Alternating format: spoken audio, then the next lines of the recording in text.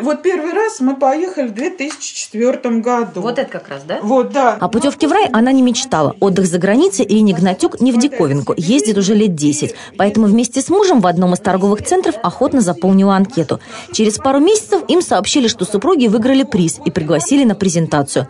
В компании «Люкс Резорт Сервис» их ждали. Речь пошла о клубном отдыхе, так называемом таймшере. Девушка за столом, она спрашивала, в каких странах мы побывали, какая у нас страна мечты. Оль, если честно, я даже не помню, пили мы там что-то или нет. По словам Ирины, более трех часов сотрудники компании показывали им видео из райских уголков и настойчиво предлагали стать членами клуба, который предоставляет апартаменты на самых элитных курортах мира. Стоимость членства, со слов Ирины, более 20 тысяч евро за 20 лет. Ну вот, ну и когда уже в самом конце мы досидели, мы были последние там. Ну и вот нам говорят, ой, вы выиграли поездку на Бали, естественно, в неудобное время. Но вот если вы согласитесь, ну, ну вот вы давайте, мы вам сделаем скидочку, купите у нас вот недельку, когда вам будет удобно, а к этой недельке еще вот добавляется, э, ну, подарочная неделька, 730 евро. В итоге супруги отправились в Дубай, однако путешествием остались недовольны. Главная претензия – переплатили за все, что только можно. Поездка, говорят саратовцы, была как минимум на треть дороже, чем у их соседей по отелю. Билеты, визы, питание, ну и кроме того экскурсии. Таймшер всего этого не учитывал. Кроме того, весь отдых супругам также настойчиво предлагали вступить в клуб пара была обязана посетить еще одну презентацию, иначе штраф 500 евро. Таковы условия договора. В Центре защиты прав потребителей клиентов компании Lux Resort Service хорошо знают. За помощью к юристам обратились уже более 10 человек. Все они через суд пытаются вернуть деньги. Они жалуются на то, что их неправильно информировали при заключении договора, либо предоставили неполную информацию. То есть люди понимают о том, что они приобрели не обычный туристский продукт, а по сути таймшер, то есть только услуги размещения в отелях на определенных курортах.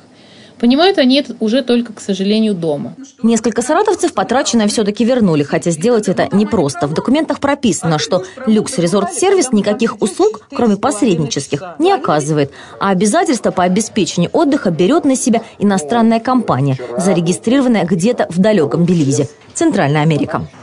Офис компании «Люкс Резорт Сервис» находится вот в этом здании, на десятом этаже. На входе нас встречают вежливые сотрудники. В интервью не отказывают. Половина четвертого. Половина четвертого? Однако поговорить на камеру с руководством фирмы нам так и не удается. Все дальнейшее общение с Люкс Резорт Сервис происходит за кадром. Начальство отказывается сниматься, дабы нехорошие журналисты не переиначили их слова. В приватной беседе говорят приблизительно следующее. Цитирую по памяти, так как взять на встречу диктофона не разрешили. Посредническая деятельность, которой занимается фирма, российским законом не запрещена. По мнению руководителей, компания нисколько не нарушает права клиентов. Ну а если кто-то не согласен, то они готовы всегда пойти на контакт. В Саратове по подобной схеме работали несколько компаний. Он это точно знает. Дмитрий Анпилогов в туристическом бизнесе уже почти 20 лет. Говорит, сомнительные посреднические структуры нет-нет, да бросают тень на отрасль.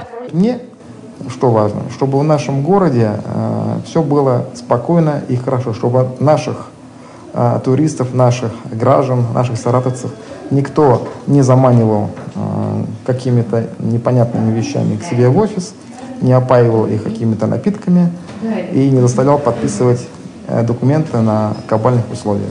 Справедливости ради надо сказать, есть и такие саратовцы, которых устраивает сотрудничество с Люкс Резорт Сервис. По крайней мере, за время работы компании в полицию не было подано ни одного заявления.